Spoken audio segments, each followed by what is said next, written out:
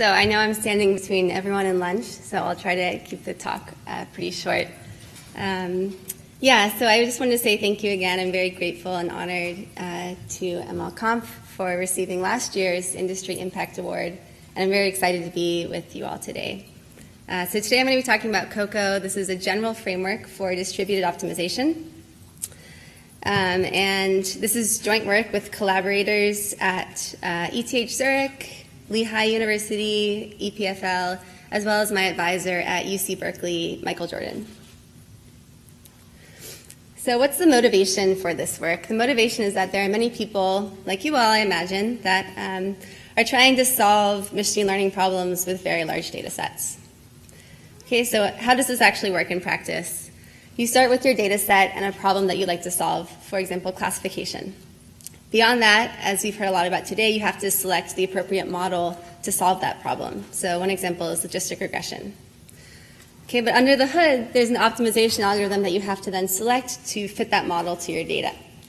And this becomes particularly important when we're looking at the setting where we have very large data sets because there's really an important component missing in this workflow, which is which sort of um, system setting you're in. Are you on a multi-core, large multi-core machine, or in a cluster, cloud, supercomputer? Because that can have a very large impact on the optimization algorithm that you select to fit your model to your data. In fact, it's an open problem to know how to most efficiently uh, solve these objectives when our data sets are so large that they're distributed across multiple machines. So this is exactly the problem that we're trying to solve in this work. Okay, so what can be done um, in the distributed environment to solve these objectives? Well, you can imagine something very naive, which is that you could take an online method that works well on a single machine that just processes a single data point at each round and then naively parallelizing that in the distributed environment. So imagine here we're looking at um, these light gray squares are each worker machines and the dark gray rectangles are data points on those machines. You can imagine processing just a single data point on each machine in parallel, then communicating that update back to the master where you try to converge on your final global model and then iterating doing this over and over again. So this sort of paradigm would say, let's always be communicating back and forth between the worker machines and the master. It's nice because we have convergence guarantees about these types of methods, but in general, it's not ideal for the distributed environment where communication is a known very large bottleneck, because you're always going to be communicating back and forth between the master and the workers. So what else is there? Kind of viewing this as um, a paradigm here we have on the, on the other side, the other extreme, you, instead of processing just a single data point on each of the machines, you can imagine processing all of your data points multiple times and in fact solving k separate submodels, uh, separate models from all of your machines. And then doing something at the end like averaging them together. So this sort of paradigm says, you know, let's never communicate or let's only communicate once at the very end. It's great for the distributed environment because it's very low communication but in general, it's not ideal because convergence is not guaranteed for these types of methods. Okay, so what else is there? Well, very naturally, you can imagine something kind of in the middle. Instead of processing all of your data points or just one data point, you process a few data points on each machine in parallel before you communicate back to the master and iterate doing this over and over again. So this is what is known as mini batch style methods. Um, it's nice because we have convergence guarantees about these style of methods, and the communication is also tunable. So what I mean by that is you can choose how large to make your mini batch size, how many updates you want to process on each of the machines in parallel, to tune communication in whatever sort of systems environment you're in. So this is really a nice natural middle ground, and it's used a lot in practice. However, there are some serious limitations to current mini batch methods. One limitation is that Typically, people uh, formulate mini batch methods by taking something that works well on a single machine and making sort of a one-off mini batch style version of it. So you may want to, you may wonder how you can get more out of these very highly tuned um, single machine solvers rather than, than having to reinvent the wheel every time you want to use that in the distributed environment. Another limitation is that the updates made in mini batch style methods are stale. And what I mean by that is you go out and you compute updates in parallel from each of the data points. But you don't actually apply those updates to your model until you send everything back to the master.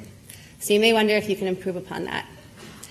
And finally, once you do send everything back to the master, often to uh, guarantee convergence, you have to take an average over how large your batch size is.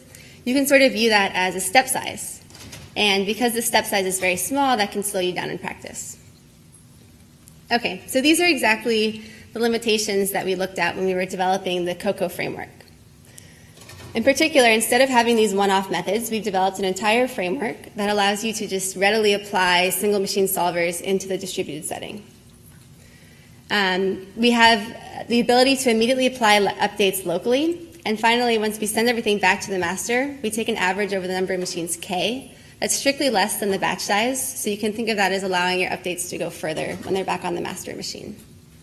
So these are the principles behind uh, the first version of the framework that we developed, CoCoA version 1. Um, so I'm going to talk about each of them in a bit more detail. The first is this idea of a primal dual framework. So what do I mean by that? At a very high level, um, the problems that we considered in this first framework are basically a loss plus a strongly convex regularizer. So this encompasses a lot of popular machine learning problems.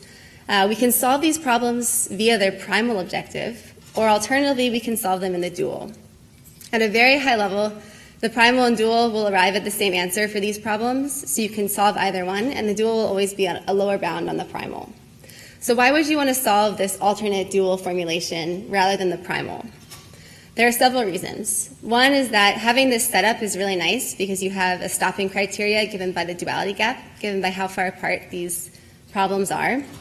It also has good performance in practice. For example, it's a default in software packages like liblinear for solving support vector machine models. Um, but what we saw in our setting, what is really important, is that this dual will be more easy to separate across machines. So it'll be more easy to uh, distribute the computation on this dual objective. So what exactly do I mean by that? Well, looking at this dual objective, this objective is global in that it takes into account data from all of the machines. What we've done in CoCoA is we've instead defined this local objective, which just takes into account uh, data from a single machine. And basically all we've done here is square out that uh, regularizer term, and now we're indexing over dual variables on a single machine for the losses. Okay, so now that we have the, this local objective, the reason that we're calling this a framework is that we allow you to solve this local objective using any internal optimization method. So in this way, you can take something that works well, that you've tuned, some code that you've written on a single machine, and directly apply it into the distributed environment. Okay, so what were the two other changes? Um, one is that we allow you to immediately apply updates on each of the machines in parallel. At a very high level, the difference um, is summarized in the following way. So in a mini batch style method, you loop through all of your updates on each of the machines in parallel, but you don't actually you don't actually apply them until you send everything back to the master. So until you sort of break from that for loop. Instead, in CoCoA, we're allowing you to apply the updates immediately after you make them on each of the machines locally. And finally, once you do send everything back to the master, um, we're allowing you to take an average over the number of machines k. This is strictly less than the batch size. And again, you can think of that as a step size, so it's allowing your updates to uh, move further on the master. Okay, so these are all principles behind the first version of the framework that we developed. Uh, and this is really exciting work. This was back at NIPS a couple years ago, um, and we got state of the art performance compared to very popular distributed methods. But since then, um, in the last couple years, we realized that there were two limitations to the initial framework that we developed. The first limitation um, was this idea of having to average things on the master. That seems sort of arbitrary. You may wonder if you could do something better than that. For example, if you could add the updates directly together. And in follow up work, we found that you could actually do that. And the way that we were able to do that is basically we modified the subproblem that we're solving locally to allow you to make more aggressive updates on the master. And doing this gave us stronger convergence, both theoretically and in practice. So this was follow-up work at um, ICML last summer. Uh, but since then, there was one other limitation to the framework, which is that L1 regularized objectives were not covered in our initial framework. So what is that? Uh, why is that important? I'm going to be talking about that now because this is very recent work. So in particular, L1 regularization. Why is this important? It encourages sparse solutions. So it's very important for uh, the setting where your feature size might be large and you'd like a model at the end that is small either for computational reasons or for interpretability reasons. So you might want to be able to interpret the features that you have in your final model. So it includes popular models like lasso, sparse logistic regression, elastic net regularized problems.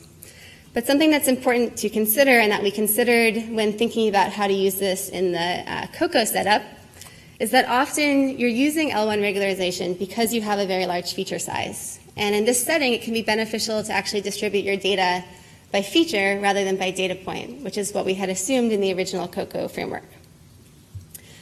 Okay, so the question was how can we map this all to the CoCoA setup?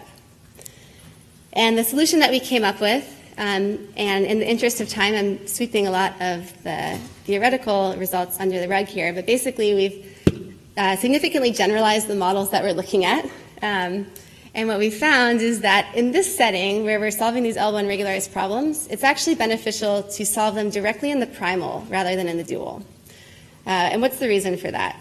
One is, okay, so we have this primal dual setup. We still have a stopping criteria given by the duality gap, which is nice. But now solving the primal rather than the dual is very common in practice. So that's the default in software packages like GLMNet that run coordinate descent uh, for these L1 regularized problems in the primal. It's also nice in our setting because if we're assuming that the data is distributed by feature, this primal objective will now be uh, more easy to separate across machines where we have one primal variable per feature. Okay, so um, let me just present some results that we have now that we're running this, this new version of the framework, which are exciting.